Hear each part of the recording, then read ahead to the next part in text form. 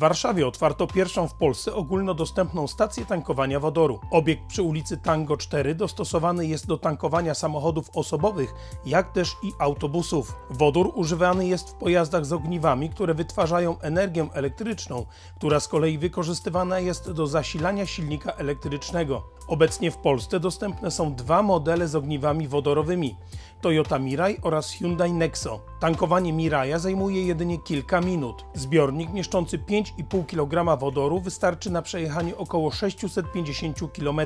Pojazdy wodorowe to ciekawa alternatywa dla bateryjnych elektryków. Warszawska stacja tankowania wodoru jest pierwszą z sześciu planowanych pod marką Neso. Według statystyk z końca lipca bieżącego roku w Polsce zarejestrowanych jest 208 pojazdów z napędem wodorowym, w tym 9 autobusów. Budowa stacji tankowania wodoru nad Wisłą być może ożywi tą część zeroemisyjnego rynku. Do tej pory kierowcy aut z ogniwami paliwowymi musieli korzystać z obiektów w Wiedniu lub Berlinie. W pierwszych dniach września w tyskiej fabryce rozpoczęła się produkcja Fiata 600e. Tym modelem włoski koncern powraca do segmentu B. Fiat 600e to elektryczny SUV, techniczny bliźniak Jeepa Avengera nagrodzonego tytułem Europejskiego Samochodu Roku. Najnowszy Fiat wyposażony będzie w silnik o mocy 156 koni mechanicznych. Według producenta energia zgromadzona w akumulatorze o pojemności 54 kWh brutto powinna wystarczyć na przejechanie nawet 600 km w warunkach miejskich. Tyska fabryka koncernu Stellantis została otwarta w 1975 roku. Licząc do sierpnia ubiegłego roku z polskiego zakładu w sumie wyjechało prawie 11 milionów aut. Obecne portfolio fabryki w Tychach to Fiat 500, Abarth, Lancia Y oraz Jeep Avenger. Od 11 września na autostradzie A2 obowiązują nowe, wyższe ceny za przejazdy odcinkiem Nowy Tomyśl-Konin. Dla pojazdów kategorii pierwszej przejazd 150-kilometrowym fragmentem kosztować będzie 90 zamiast 84 zł. Jako główną przyczynę podwyżek operator autostrady wskazuje inflację. Średniodobowe natężenie ruchu między Koninem i Nowym Tomyślem wynosi około 30 tysięcy pojazdów. Co ciekawe, na obwodnicy Poznania, która jest darmowa, dochodzi ono do 110 tysięcy pojazdów na dobę. Przejazd autostradą A2 z Warszawy do granicy z Niemcami w Świecku kosztuje kierowcę samochodu osobowego 108 zł. Za ten sam odcinek kierowca pojazdu kategorii czwartej o więcej niż trzech osiach zapłaci 367 zł. Ze względu na duże natężenie ruchu autostrada A2 między stolicą i Łodzią będzie rozbudowana do trzech pasów ruchu w każdym kierunku. Peugeot zaprezentowało nową generację swojego najpopularniejszego SUVa w ofercie modelu 3008. Od teraz będzie to w pełni elektryczne auto, choć według deklaracji producenta na niektórych rynkach dostępne będzie również z napędami konwencjonalnymi. Kompaktowy SUV oferowany będzie z napędem jednej osi lub czterech kół. Do wyboru będą dwie wielkości akumulatora trakcyjnego 73 lub 98 kWh. W przypadku konfiguracji większej baterii oraz napędu na przednie koła zasięg modelu E3008 Long Range wynosi około 700 km.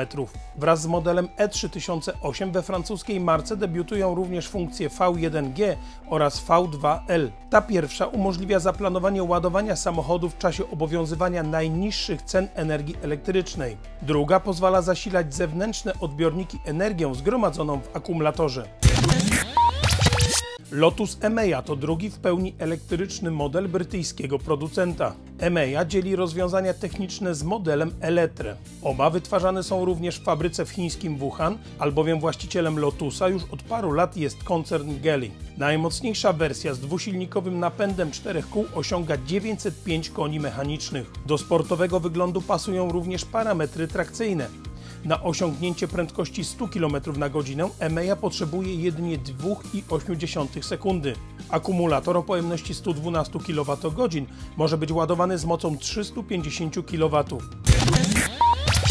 Jeśli kiedykolwiek mieliście wątpliwości co do stylistyki Lexusa, ciekawe jakie wrażenie zrobi na Was model LM. Auto o długości przekraczającej 5 metrów występuje w konfiguracji dla 4 lub 7 osób. W odmianie czteroosobowej pasażerowie w tylnej części podróżują w warunkach zbliżonych albo nawet lepszych niż w samolotowej klasie biznes. Lexus LM350H napędzany jest klasyczną hybrydą o mocy 250 koni mechanicznych. Sprint do setki zajmuje niecałe 9 sekund, a średnie zużycie paliwa to około 7,5 litra na 100 km.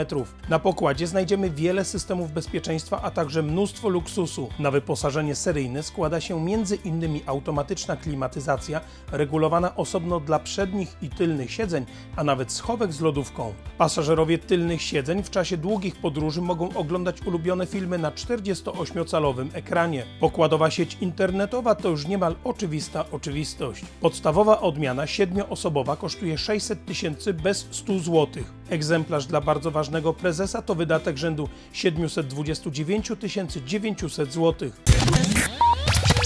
Ford wprowadza do sprzedaży nową generację swojego campervana zbudowanego na bazie Transita Custom.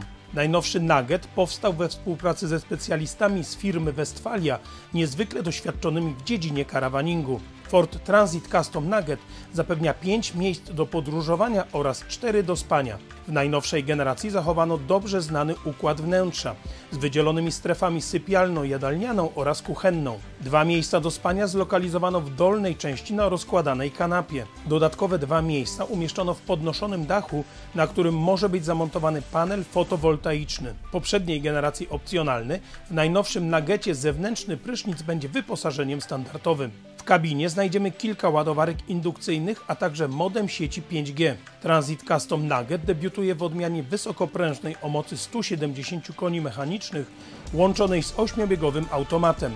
W ciągu następnych 12 miesięcy oferta powiększy się o hybrydę plug-in o mocy systemowej 232 koni mechanicznych. Miłośnicy biwakowania w leśnych ostępach i aktywnego spędzania czasu będą mogli zamówić wersję z napędem czterech kół.